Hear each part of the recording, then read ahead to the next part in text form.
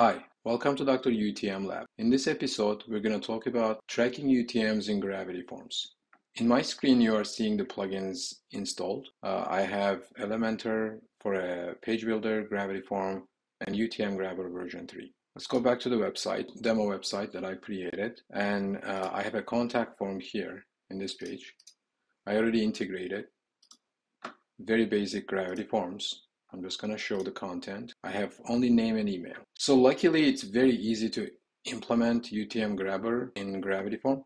If you go to UTMs, there's going to be a Gravity Forms uh, tab. So simply select the forms that you would like to add all the UTM parameters. Select them all, or you can select individually. So once you have done that, click Save Changes. This will add all the parameters into your form automatically. So you don't have to do it one by one and it's very time saving process. There's one thing that I would like to warn you. If you select the form again and if you add everything again, things will be duplicated. All the fields are going to be duplicated. Actually, more you do it, it will be triplicated uh, or you'll add more. So what you need to do is, if you are adding new parameters, this is always good practice. Remove first all the, this will clear clear all the fields that you added and then add them back again. So that's the best practice. You definitely don't want to have duplicated values. It's not going to impact the tracking, but it will definitely impact the performance of the website. Let's go back to the forms and make sure all the fields are here. And I left all the form settings as default, so we're going to receive an email once the lead form is submitted. So before I start, I would like to show you my cookies in the browser. Let's go to the application and cookies. So here what I'm going to do, I'll make sure there's no UTM parameters. Let's delete them. Let's delete all the HNL parameters as well. And let's delete organic source and the traffic source. So now since I cleared my cookies. Let's remove all of these as well. Okay, great. So when I, if I submit this form, let's refresh the page again. There's going to be some HNL and uh, organic traffic will be tracked, but there's not going to be any UTM because simply we haven't added them yet. So let's submit this form.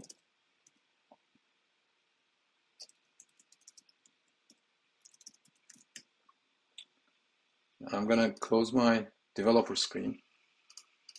I received an email. So as you can see here, there's no UTM parameters, but you see all the other parameters that are being tracked already. Okay, now let's go back. Let's refresh this page. Again, we have the form. Let's make sure there's no UTMs again. As you can see, nothing, no UTMs tracked yet. So let's make a quick demonstration how the plugin works. In normally in paid traffic, you have some UTM values. Let's add Black Friday 2022 for the sake of example. So as soon as user hits your website, you see our plugin will capture it and then create a cookies for that in user's browser. So that means even there's no more query arguments because normally user they land on your page and then they navigate to other pages and then they come back to the form page again. As you can see, even though there is no query argument in the address bar, I'm still tracked for the UTM campaign Black Friday because I've been cookied. So if I take this form again, I'm going to show you the email I received.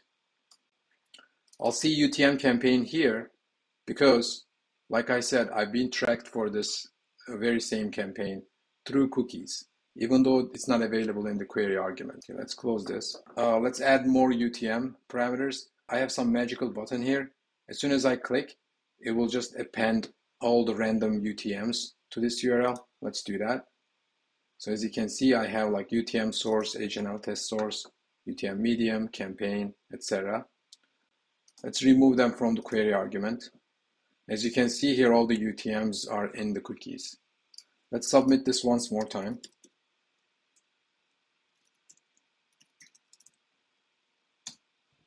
Okay, I submitted my form. Let's pull the email I received. This time, you see all the UTM parameters, including source, medium, term, content, and campaign, as well as all the other FB click ID, uh, and all the HNL parameters as well.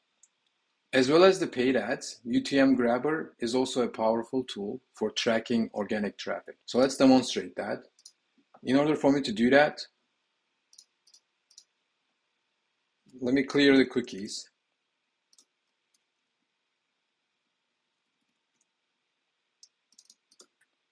Let's cl clear all the HNL parameters as well.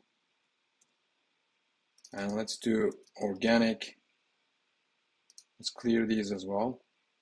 And then lastly, the traffic source. Okay. I think I cleared everything. Let's clear this as well. Okay. I don't have anything here, as you can see. So let's demonstrate, uh, let's simulate uh, organic traffic. So in order to do that, I'm going to do site demo UTM grabber so this is an organic traffic. Let's click and go to the category page. As you can see here, I'm landed on this page and I've been cookied immediately. Traffic source is organic. An organic source will say google.com and organic, organic source underscore str will say Google. So like I said, even though there's no UTMs, there's no UTM for this traffic, I've been still cookied for the organic traffic. So UTM Grabber can track organic traffic as well, as well as the referral and paid ads. So now if I go to contact page, let's complete this. I'm gonna put my name and email. And let's check the email I received. As you can see here, organic source is Google and organic source google.com as the URL and there's no UTM parameters. And the traffic source says organic, which is great. So now let, us talk about how UTM Grabber works in privacy browsing. As you may know, Safari has blocking all the third-party cookies. We can demonstrate in Safari, or we can also demonstrate in iOS 14 devices. The UTM Grabber performs in all the privacy-enabled uh, devices with no problem. In order to demonstrate that, Let's go to incognito mode. Again, let's maybe simulate uh, organic traffic. I'm in the incognito mode. Normally, uh, most, most people believe uh, there's no cookies incognito mode, which is incorrect. Websites can still track you uh, as normal. Let's demonstrate that. I'm just going to take this form, hit submit and I'll show you the email I received from Gravity Form. As you can see here, so organic source is Google, google.com. And you know, I've been tracked for my device and, and the traffic say traffic source is organic as well. And all the other uh, the referrer, the landing page, etc., everything is there. So even in incognito mode, UTM Grabber can track all the UTM parameters uh, and associate the lead with all of those parameters that, that have been collected for the user. Okay, maybe let's demonstrate the same thing in Safari as well. So things will not be any different. So maybe let's go uh, again to site demo one. Let's jump to this page, go to contact and fill out this form again.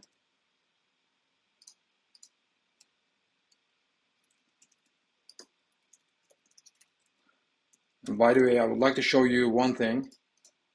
Even we have UTM Grabber installed in this page, Safari cannot detect it uh, as a tracker uh, because technically from Safari's perspective, uh, the plugin is not a tracker because you are only tracking the data on first party uh, on your own domain. So that's why it's not raising any red flag in Safari. So let's submit this form. And again, I'm going to show you the content of the email. And it's no different. Google here, organic here, etc. Okay, let's close this browser. Okay, lastly, you can integrate Gravity Form in Zapier as well. Let's quickly demonstrate how, how it works. So out of the box, if you go to UTM settings, our plugin supports Zapier webhook. Let's go to Zapier. Previously, I have the Zap created. Simply, it's a webhook uh, by Zapier. So let's copy paste the URL into here and save this option. Now if I go to my website, let's refresh this page. Maybe let's add some UTM parameters and we can actually click around and make sure it's lost in the query arguments. And now if I take this form again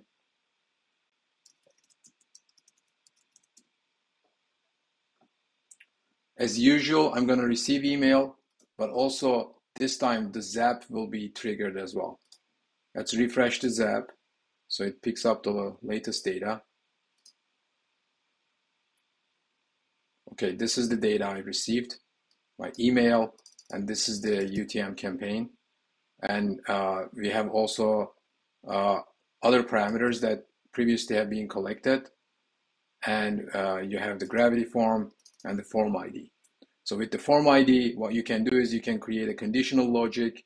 So basically you have one webhook URL, but you can do different tasks based on the form ID. Also, since the data in, in Zapier, you can do several actions. For example, you can send the data to HubSpot, or you can sync it to ActiveCampaign, or you can sync it to Zoho and Infusionsoft. I think it's called Keap. So the integrations are limitless in Zapier. You can sync this data to your favorite CRM without any problem. That's it for today's episode. So basically what we did is we covered UTM tracking in Gravity Form, uh, how to pass UTMs from page to page, how to track organic traffic, paid ads and referral track tracking, and also we showed uh, the plugin uh, still works in incognito mode, including iOS 14, privacy-enabled browsers such as Safari. If you have any question for me, feel free to comment down below and then I will answer. Thank you so much for watching.